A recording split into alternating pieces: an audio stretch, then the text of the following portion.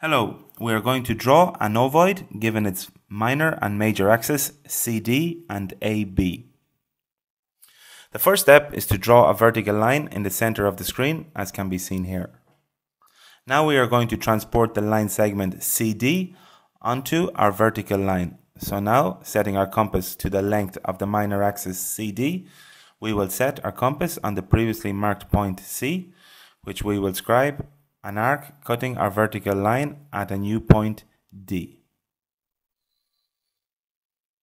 The next step, we are going to calculate the perpendicular bisector of the minor axis CD. To do this, with our compass set on point C and a radius slightly greater than half the radius CD, we scribe an arc to the left and the right of the vertical line. And now with the same radius and the compass centered on point D, we scribe another arc which intersects our previously drawn arcs at two points, as can be seen here. And now we will join these two points and prolongate on both sides, as can be seen here in the video. Where it cuts the minor axis CD, this will be the midpoint O of the minor axis. We call this horizontal line with lowercase m. The next step, we are going to draw a circle centered on the point O and with radius OC.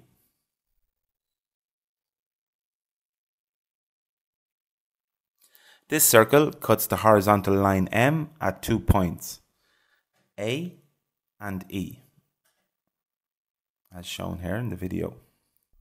So now the next step is setting our compass to the length of the major axis AB. We are going to transport it onto the horizontal line M from point A. So setting our compass on point A, we scribe an arc cutting the horizontal line M and we obtain another point B on this line as can be seen here. So the next step is setting our compass to on the point E and with radius EB, we are going to draw another small circle.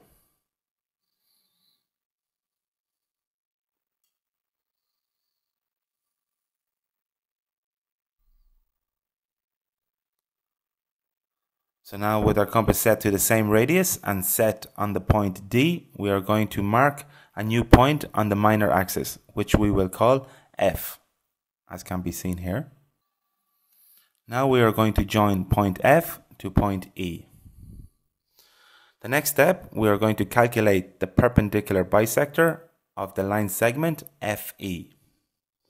To do this, with our compass set on the point F and a radius slightly greater than half of the length FE, we scribe an arc above and below the line.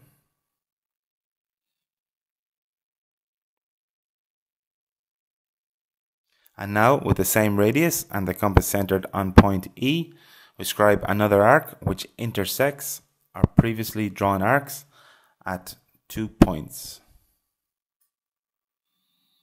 And now we will join these two points and prolongate it until it cuts the minor axis CD at a new point which we will call N as shown here in the video. So the next step setting our compass on point 0 or O and with the radius OM we draw a semicircle to the left until we cut the vertical line on point M as can be seen here. These two points M and N are going to be two centers of our ovoid. They are going to draw. The other two centers so the next step, we are going to join points N through E, prolongating the line until it cuts the small circle. This is a tangent point of our ovoid. So now we are going to do the process again, joining points M through E until it cuts the small circle, until we get our second tangent point as shown here. So the final remaining step is to draw the ovoid. To do this, setting our compass to the radius OC, we draw a semicircle with a thicker line from point C to D, as can be seen here.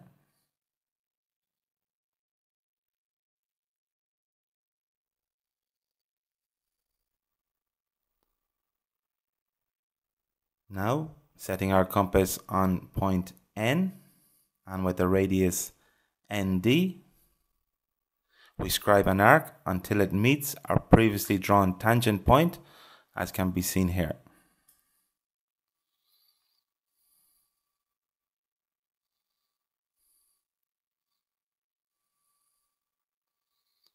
And now with our compass set to the same radius and set on point M, we join point C to our second tangent point, as can be seen here.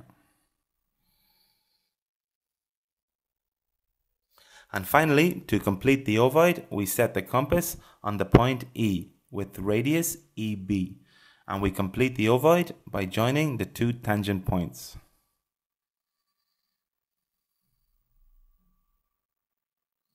Finally, we mark our four tangent points with the capital letter T, as shown here in the video. Here we have the ovoid given its minor and major axis. I hope this video has helped you.